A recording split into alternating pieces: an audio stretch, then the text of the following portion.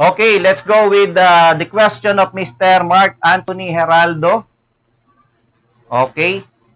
So, meron po siyang tanong no, para sa ating mga RNE. Pass RNE board exam po ito ang kanyang katanungan.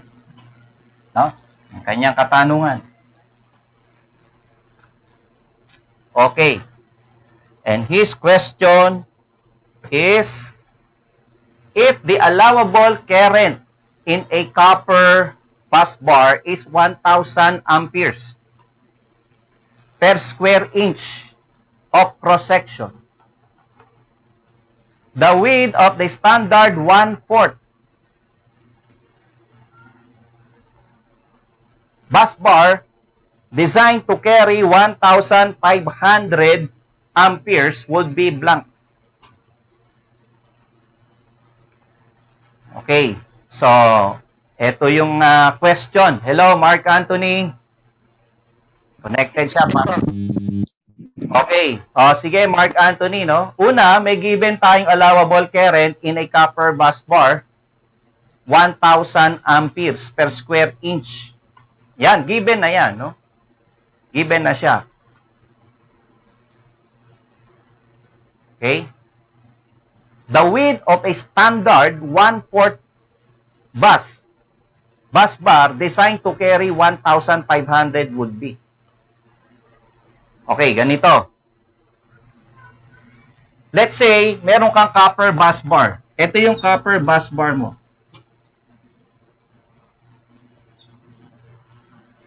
No? Copper bus bar mo. So, yung bus bar, ito, let's say, mahaba yung length niya, no? Mahaba yung length niya. Okay? So, let's say, ito yung ano niya, ito yung length niya, yung haba, ito yung width niya. Sabihin mo, ito yung kanyang thickness, yung kapal. No? Yung kapal niya. Okay?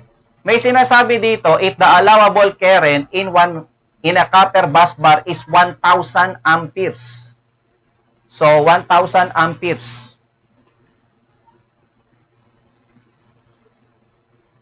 Per square inch. No? Ibig sabihin, sa isang square inch, 1,000 ampere. Halimbawa, no? kung kukunin mo yung ano, kasi current density yan eh. So, halimbawa, ito, uh, sabi, 1 per square inch. 1 inch to. Ito, 1 inch din. Halimbawa, let us take it as per square inch.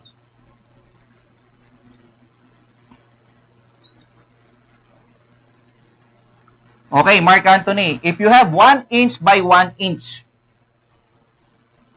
okay, that is the cross-sectional area. This is what we call the cross-sectional area. If the allowable current in one in a copper bus bar is 1,000 ampere per square inch. Meaning, if you are going to take this 1 inch by 1 inch in this copper bus bar, 1 inch by 1 inch, kukuha tayo dyan. Limbawa, itong certain portion na to, 1 inch by 1 inch to.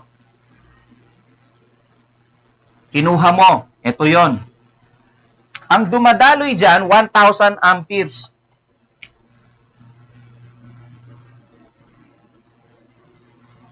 Mark Anthony.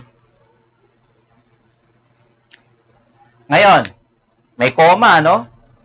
The width of a standard 1/4, this is actually 1/4 inch.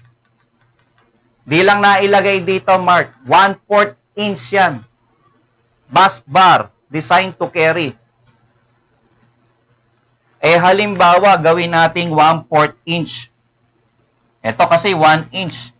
Halimbawa, ito yung 1/4 inch. Pero hindi natin alam yung width. Yun ang tinatanong dyan eh. Pero ang width mo, ito mangyayari dyan.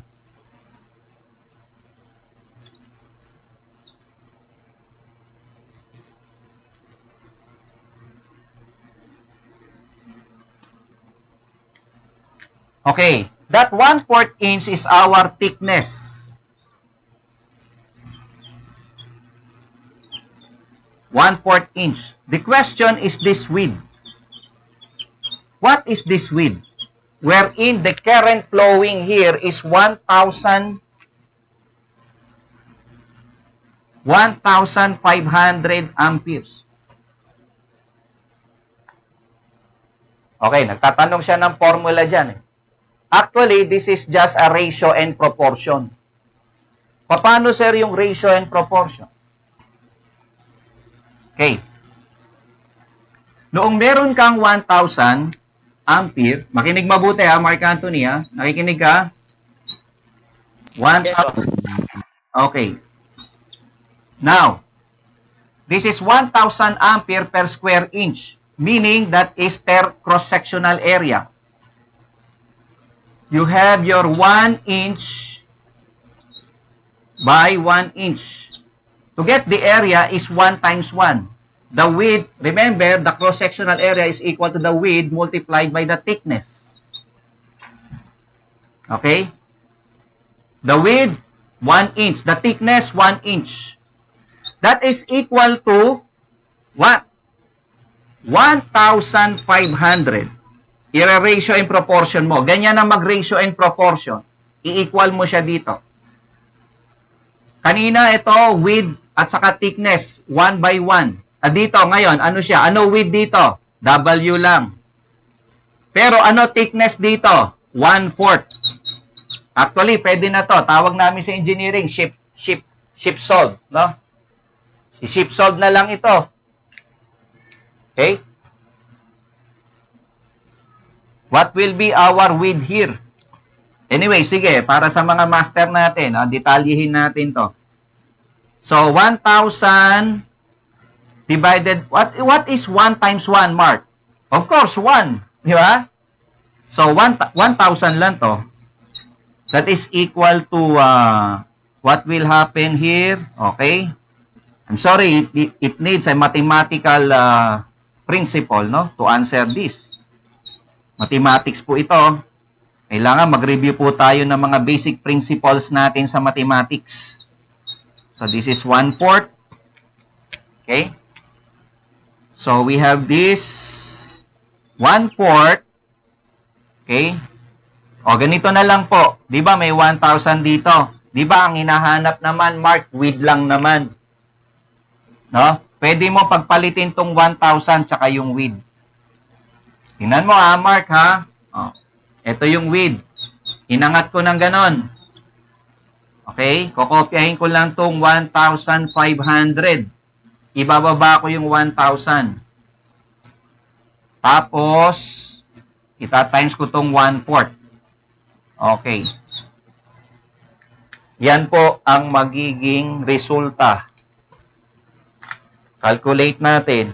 1.5 divided by 1,000 divided by 1 fourth. Ano ba yung 1 fourth? 0.25 yun. Ano? The answer is 6. 6 inches. Mark Anthony.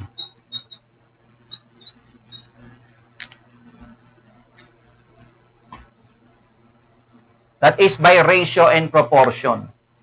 Ito po yan, ratio and proportion po ang ginamit natin.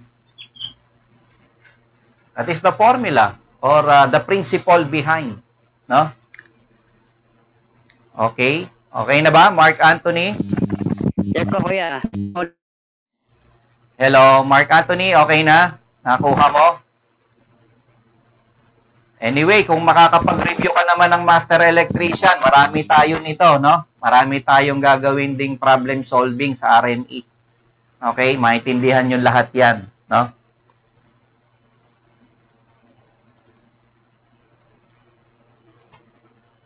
Okay? So, that's it. Na tayo. Okay. Thank you.